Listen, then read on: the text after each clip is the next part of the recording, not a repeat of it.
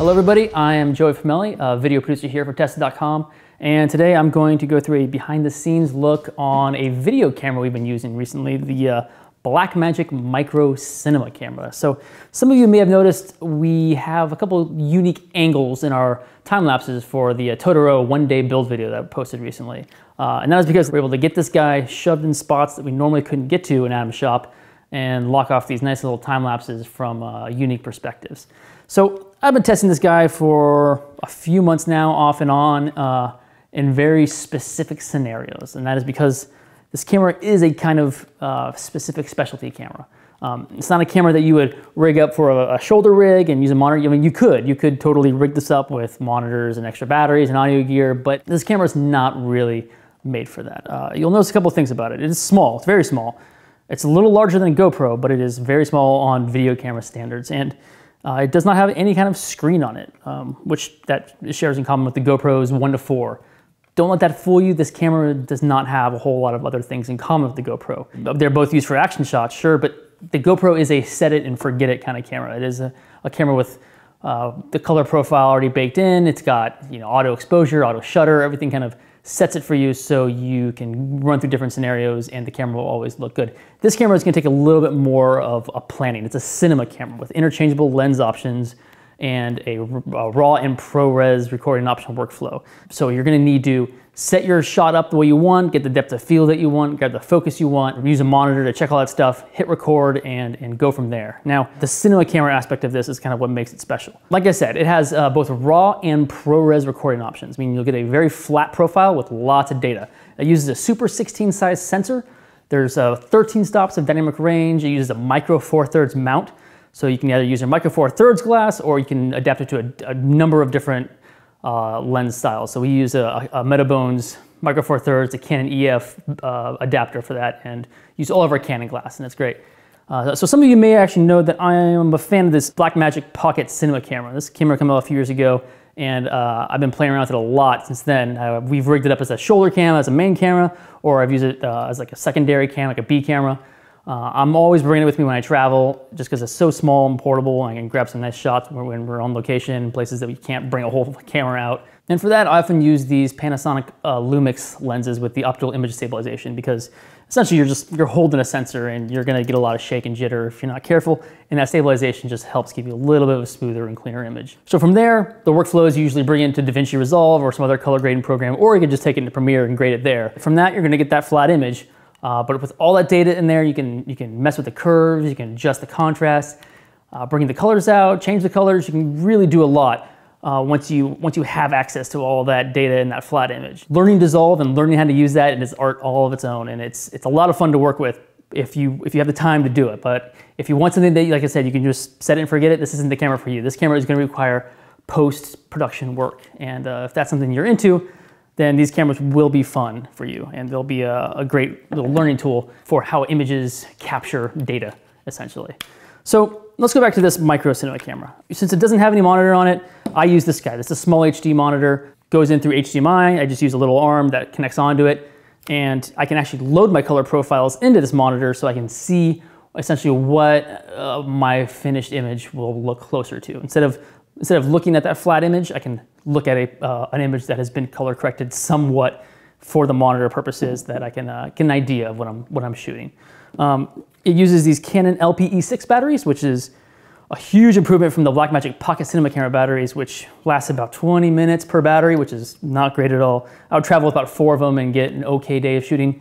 With these guys, I've used them for up to an hour, an hour and a half, and they've been uh, just a huge improvement. And they're very common. Chargers, people use them for uh, DSLRs all the time. So it's, it's a much more accessible battery with a much longer life, which is uh, fantastic. So let's go to what I've been using this camera for. I've probably used this in three different environments. Uh, one was on the generator trip when we went to the Arctic. I brought this guy with me to test it out there to see how it did in the cold. We had another shoot where we are uh, in the Mojave Desert and I had it locked off onto cars as dash cameras. Uh, and the last was I actually rigged it up um, for usage as like a, like a main camera. We are in Budapest, and I was just grabbing uh, shots of the, of the city and, and essentially B-roll.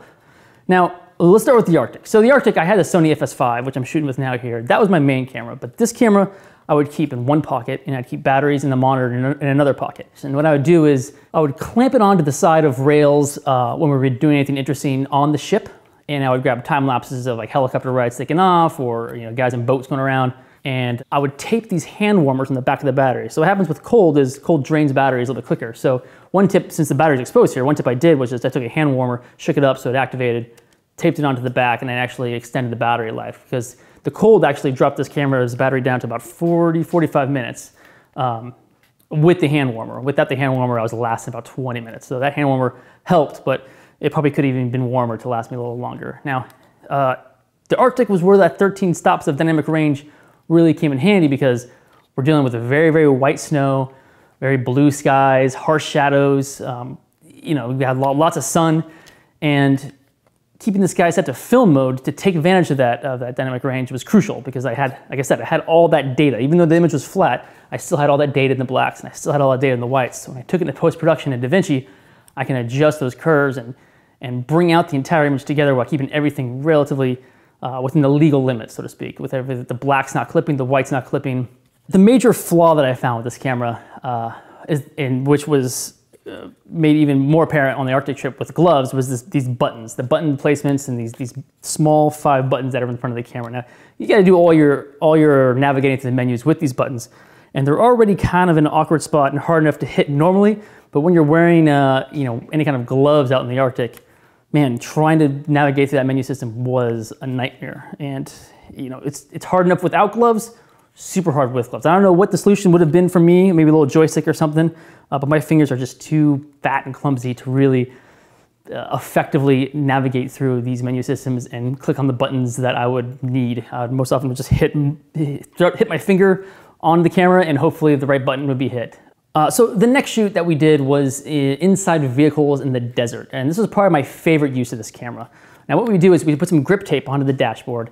We use this stuff called butyl, this is sticky, gummy uh, stuff, essentially, that you just wedge onto the camera and to the dashboard with the, with the, uh, the, the gaff tape. And it would lock in the camera, just hold it super solid right there on the dash. And what we would do is we set up a three camera shoot. We basically do an ISO on the driver, an ISO on the passenger, and a wide on everybody. Uh, and then we just, we have the small HD monitor and we just walk around with an HDMI, jack it in, check your shot, get the focus, adjust the depth of field, uh, adjust the exposure, go to the next one, set all three, and then hit record and, uh, and just start driving. That way we didn't have any camera operators kind of rigging up uh, any kind of poles in the car. We were able to just get, the, get these shots that we needed um, pretty, pretty effectively and pretty inexpensively. The one thing we notice that with these stabilized lenses is that when they're jacked onto the, the dash, uh, the vibrations on it for some reason messes with that stabilization, the mechanical, mechanical bit that's in there, and it would give it this crazy jitter jello effect on the lenses and the image, uh, essentially making the footage unusable. So we took these off and we actually put on some Rokinon Prime 7.5 millimeter lenses. Um, and then with that crop factor of 2.88 that this camera has, it gave us something in the 21 millimeter range that worked really well with those ISO shots in the car. So that was the desert. And then most recently, just a couple weeks ago, I grabbed this kit and I took a tripod and I headed to Budapest for a tested trip that you'll hear more about in the future. Uh, but I had a little bit of spare time to go out into the city and shoot some footage. So what I did is I grabbed an arm, grabbed the HD monitor, I rigged up just basically like a just a little camera that has a little handle on top that I can walk around and grab shots with and lock shots off. And we're staying over near the Chain Bridge in, in Budapest, which is uh, one of the first bridges to connect Buda and Pest. And uh, every morning, kind of before sunrise, I just go out and grab some shots and, and just take it into town, take it to some farmers markets and just grab shots of locals just to see how it would handle as a, a main camera. Uh, it, was a fun, it was a fun experiment to do and it, it taught me a lot about this camera. Uh, not something I would do every day. Um, you know, you're still, you're still trying to turn something like this into a main camera that it's just not meant for. Um, this camera is, is really meant for especially situations, not stuff where you're just trying to run and gun around town. That being said though, like I said, I learned a lot about the camera and about its capabilities and being able to mess around with false color and some of the color profiles in the monitor was a lot of fun. In the, in the future, I mean, I would definitely take a main camera, but this is probably gonna be in our mobile kit quite often just because it's so easy just to place anywhere instead of time lapses or just you know grab shots that we need uh, and just put in, in strange areas that we normally couldn't get angles from. So that's about it for our uses so far. Uh, we had two of these cameras for review and ended up purchasing one just because I know that it can be uh, totally useful in more of the Adams builds when we do one day builds and grab some nice time lapses and more dash cam stuff. We're going to be doing more stuff in cars or you know hopefully more on helicopters. Uh, it's it is a it is a, a perfect tool for the tested arsenal. And there's one more piece of this camera that I have not yet experimented with, and that is this guy, the expansion port, which I think is right up our alley here at Tested. And it's a uh, this camera comes with a mess of cables, uh, and those cables can add remote control functionality, uh, or you can map camera functions to joysticks or the controllers, and you can kind of program a number of different things that you want to try with this. I know people on YouTube have already been making little hand controls uh, yeah, mapping buttons to, to functionality here. This stuff's being used for people who want to mount this on DIY drones and want to have uh, some, some control over their camera. There's tons of stuff that uh, it is, it is possible to do with this expansion port, and I'm essentially just keeping a notebook to the side of little little experiments that I want to try with it. So I'll, I'll, document more of that, and if I do something cool, then I can share it with you guys. But uh, I'm really excited to, to, to, really dive into that uh, expansion port on this. So that's about it. That is the Blackmagic Micro Cinema camera that we've been playing around with. Uh, see if you can spot it in the one day build Totoro video. And uh, yeah, thank you guys for watching. I know it's a lot of production gear and codec talk and raw and ProRes. So hopefully that all made sense. If you have any questions, throw them in the comments. I'll do my best to answer. But uh, thank you guys for coming on this behind the scenes look and we will see you guys next time.